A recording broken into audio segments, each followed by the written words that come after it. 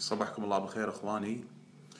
بعد ما صورت ريوقي وتحديدا حليب الصويا وايد أسئلة جتني بخصوص حليب الصويا. أه وايد جت لي أسئلة بخصوص حليب الصويا إنه ممكن يرفع الأستروجين في الجسم أو هرمون الأستروجين. هذا الموضوع طبعا وايد طويل والدراسات اللي تمت على حليب الصويا يعني ما أبالغ لكم بالمئات. خلوني أدردش وياكم باختصار عن هالموضوع بس خلوني أحاول أحيط هالموضوع من كل جوانبه. شنو مشكلة حليب الصويا وشنو أساسا شنو الأساس في آه، يعني الكلام تركز على وين بخصوص الصويا؟ مو بس حليب الصويا. الصويا تعتبر من البينز آه، من البقوليات أو من فصيلة ال beans الفاصوليا. آه، عالي بالبروتين يحتوي على مادة تسمى بال isoflavones. كل الدراسات وأغلب الدراسات كان تركيزها على هالمادة. يعني خلونا نقول إن هذه المادة هي المتهم الرئيسي في الصويا.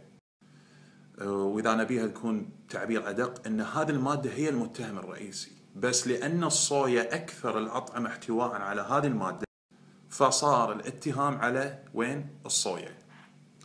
يعني في أغذية ثانية في خضروات ثانية تحتوي على هالمادة بس مو مثل تركيز شنو مشكلة الماده هذه؟ مشكلة المادة هذه إنها لما تدش الجسم شكلها بالضبط نفس شكل الأستروجين هرمون الأستروجين.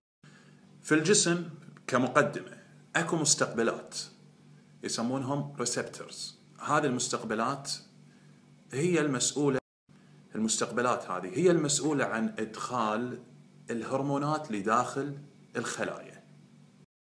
وكل هرمون له receptor خاص فيه. يعني التستوستيرون في له receptor خاص فيه. الإنسولين في له receptor خاص فيه. وكذلك ال growth هرمون الكورتيزول الجلوكاجون وكذلك بالنسبة للأستروجين في له receptor خاص فيه. مستقبلات هرمون الأستروجين منتشرة في الجسم وفي أعضاء الجسم موجودة في الكبد موجودة في العظام موجودة في القلب وموجودة أيضا في المخ وغيرها من الأعضاء الجسدية. الحين هذا الأيزوفلافونز شكله نفس الأستروجين. فإذا راح إلى هذا المستقبل إلى هذا الريسبتر ال receptor يتعامل وياه كأنه أستروجين. فياخذه ويدخله داخل خلية طبعا الهرمونات لما تدش داخل الخلايا تروح إلى ال DNA وتصنع البروتينات. بعد ذلك طبعا خلاص يعني شوف شنو عاد الهرمون هذا شنو وظيفته. الأستروجين في له وظائف كثيرة في الجسم عشرات الوظائف. فال isoflavones بما أنه يدور يعني يقوم بنفس دور الأستروجين لما ناخذه بكميات عاليه عالية راح يؤدي نفس وظيفة الاستروجين يعني الشخص إذا ارتفع عنده هرمون الاستروجين في الجسم شنو راح يصير فيه؟ نفس الشيء إذا ارتفع عنده ال isoflavones طبعا أحد المشاكل اللي تؤديها ارتفاع الاستروجين أه هو سرطان الثدي.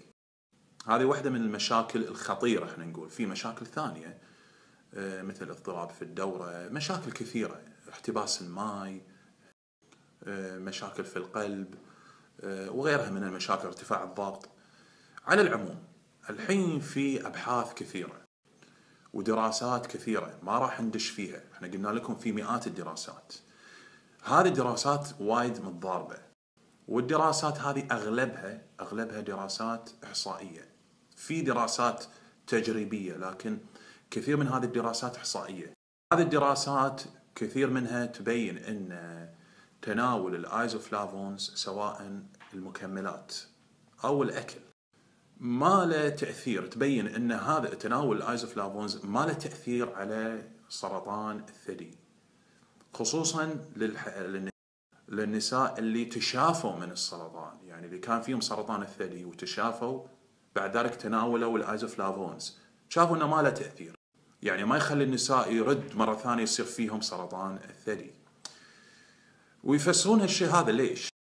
يعني حتى أن كثير من الدراسات تقول أن ال isoflavones وايد مفيد للجسم وتأثيره مو 100% مثل الاستروجين لأن ال phy- ال- ال- اللي هو ال isoflavones في بعض المستقبلات في الأعضاء يسوي block على الاستروجين وإذا نبي نكون وايد دقيقين في التعابير يحاكي تأثير الاستروجين يعني في بعض الخلايا الصويا تحاكي مفعول الاستروجين وفي بعض الخلايا الثانية والأعضاء الثانية تسوي block على تأثير الاستروجين ولهذا يفسرون كثير من ال- العلماء يقولون إن الصويا وايد مفيدة للجسم ما لها تأثير على آه، سرطان الثدي. لأن المستقبلات اللي موجودة في الثدي تسوي block على الاستروجين يعني الصويا دورها هني تسوي block على الاستروجين وفي خلايا ثانية مثل العظام. بالعكس الدور يعني تقوم بدور الاستروجين لأن الاستروجين مع يمنع آه، هشاشه العظام. يعني الصويا مفيدة لمنع هشاشه العظام ومفيدة لمنع سرطان الثدي. الصويا أو ال isoflavones يقوم بدور الاستروجين في العظام وما يقوم بدور الاستروجين في الثدي.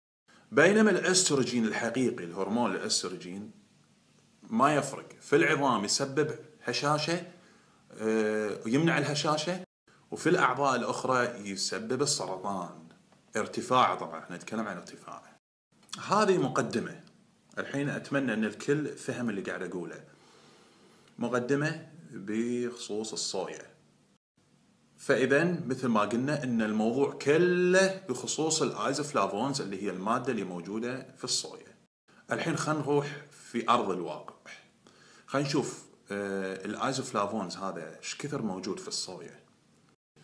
والأشخاص اللي تمت عليهم الدراسات إيش كثر كانوا يأخذون من الصويا؟ وتحديدا إيش كثر كانوا يأخذون من ال isoflavones منتجات الصويا كثيرة مثل حليب الصويا مثل طحين الصويا مثل بروتين الصويا مثل الميسو مثل حبوب الصويا نفسها أو الادمامي آه، وكذلك في اللي هو جبنة الصويا في كاستر الصويا. الحين في أبحاث آه، طلعت كمية ال isoflavones اللي موجودة في هذا الأكل. والنتيجة شنو؟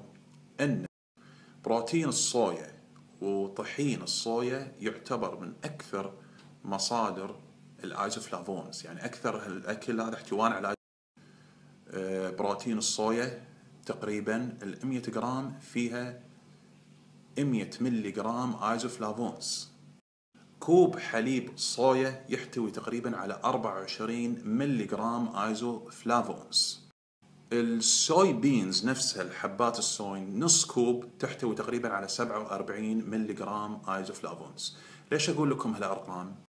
خلونا نعرف الشعوب إيش كثر تاكل من ال isoflavones أو إيش كثر تاكل من الصويا عشان نعرف نقارن بين الشعوب. على اعتبار إن في دراسات تقول بأن الشعوب الآسيوية وايد تاكل آه، صويا بس ما فيهم سرطان. بينما الشعوب الغربية ياكلون صويا أقل وانتشار السرطان بينهم أكثر. طبعا هذا الكلام صحيح لكن خلونا نشوف الشعوب الآسيوية إيش كثر يأكلون؟ في دراسات إحصائية تذكر بأن الشعوب الآسيوية خصوصا مثل اليابان، الصين، هونغ كونغ، تايوان ما تتجاوز كمية ال isoflavones. عندهم عن ال 100 ملي جرام تخيلوا. فإذا قلنا حليب الصويا الكوب الواحد فيه 24 ملي جرام isoflavone فالشعوب الآسيوية ما تشرب أكثر من أربع أكواب باليوم isoflavones أو صويا. وكذلك بالنسبة لباقي منتجات الصويا. الشعب الياباني ما بين 25 إلى 50 ملي جرام isoflavone باليوم. الصينيين يمكن يوصلون ل 100 بينما الشعوب الغربية الهولندا بريطانيا في أمريكا ما تتجاوز الكمية عن 2 ملي جرام في اليوم. طبعا إخواني 2 ملي جرام أنا أدري مثلا واحد يعني واحد إذا شرب كوب واحد هذا فوق ال 24 يعني ما يشربون كلش أو يشربون مثلا شوية حليب صويا لا هذا معدل يعني هم ما يشربون كل يوم الشعوب الغربية فالمعدل خلال الأسبوع أو خلال السنة أو خلال الشهر إن 2 ملي جرام باليوم يشربون من آه، أو يتناولون من ال isoflavones. ليش أقول هذا الكلام؟ أقول هذا الكلام إن حسب الدراسات أغلب الدراسات لما تشوف تأثير ال isoflavones على المخاطر الجسم دائما الكميات تكون 50 60 ملي جرام 100 ملي جرام فبذلك فعشان شي أنا أبي أقول لكم والزبدة اللي أبي أوصل لها عشان ما أطول عليكم آه، الصويا وايد مفيدة خصوصا للكوليسترول تخفض الكوليسترول. بس خذوها باعتدال يعني لا يتجاوز ال isoflavones باليوم عن 100 ملي جرام يعني أربع أكواب حليب صويا. أدري هذه الكمية كبيرة تعتبر. بس يعني كل ما تقللون يكون أفضل. فهذه الكمية هي المناسبة واللي تمت عليها الدراسات. تقريبا هذا الموضوع يعني أحط أحط في كل جوانبه. في بس موضوع موضوع التعارض. آه، بالنسبة لبعض الأشخاص يسألون هل الصويا تأثر على نشاط الغدة أو الغدة الدرقية والهرمونات التي 3 اللي تنتج عن طريق الغدة الدرقية؟ كثير من الأبحاث ذكرت بأن إذا كنت تأخذ حصتك من الآيودين إذا كنت تأخذ يعني آه، حصتك اليومية من الآيودين أغلب الدراسات تذكر بأن الصويا ما ما لها تأثير على الغدة. نعم إذا كنت ما تأخذ الآيودين اللي تحتاجه الغدة وفوق هذا تأخذ الصويا ممكن يكون في تأثير. آه، كذلك تناول الصويا يتعارض مع دواء يسمى التاموكسفين أو الاسم التجاري له النولفيدكس. هذا الدواء يأخذونه لمصابين في بسرطان الثدي بعيد الشر عنكم. فينصح بأن ما تناول الصويا مع تناول هذا الدواء كذلك ينصح بعدم تناول بعض الأدوية اللي تكون مضادة للتجلط مثل الوارفرين ينصح بعدم تناول الصويا مع الوارفرين وبس هذا تقريبا الموضوع كله عن الصويا وأتمنى إني احطها من كل جوانبه وإذا في أي واحد يبي يسأل عن هالموضوع أنا حاضر.